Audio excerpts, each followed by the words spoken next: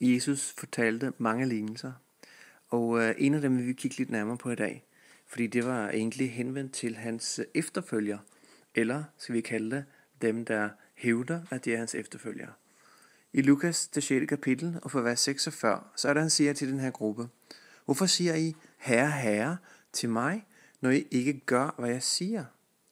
En hver, som kommer til mig og hører mine ord og handler efter dem, Hvem han ligner, vi jeg vise jer.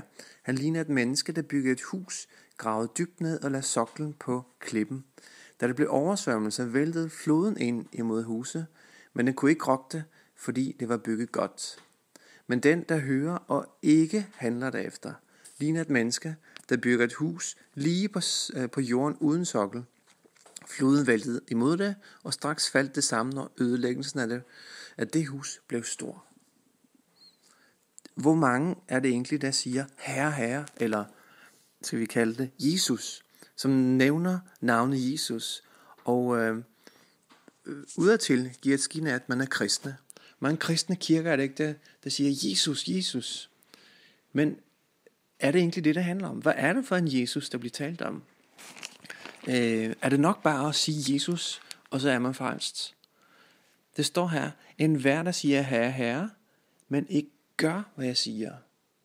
Hvad hjælper det, at vi hævder, vi er kristne, hvis vi ikke følger i det Kristus, han sagde, vi skulle gøre? Og øh, her kommer der faktisk en simpel opskrift på, hvordan øh, vi skal være. Det står punkt 1. En vær, som kommer til mig. Det er det første punkt. Det handler om at komme til Jesus. Og det gælder alle mennesker. Kom til Jesus. Kom som du er. Du skal ikke øh, gøre dig fortjent til at komme til Jesus. Kom til Jesus. Og punkt 2. Hør mine ord. Lyt til, hvad Jesus siger. Det kan være fra en prædiken, som du finder på nettet, på Lyt til Gud for eksempel. Eller det kan være, at du selv lytter til Helligåndens stemme, når du læser Guds ord. Så kom til Jesus og hør mine ord.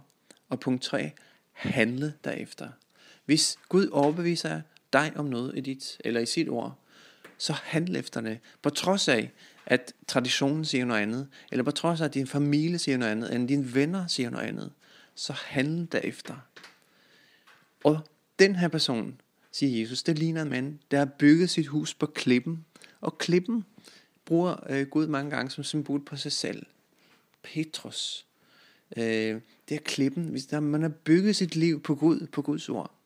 Og modsætningen er, at hvis man ikke gør det, øh, i den samme tekst, der findes i Matthæus, så står det, at han byggede sit hus på sand, og huset faldt. Så hvis jeg ikke bygger mit liv på klippen, og følger det, handler efter det, så er det ligesom, at jeg bygger mit hus på sand. Og så risikerer jeg, at det falder, når stormen vælter ind, når prøvelserne kommer, som vi har talt om de sidste dage, som skulle skabe udholdenhed. Har du bygget dit hus på klippen?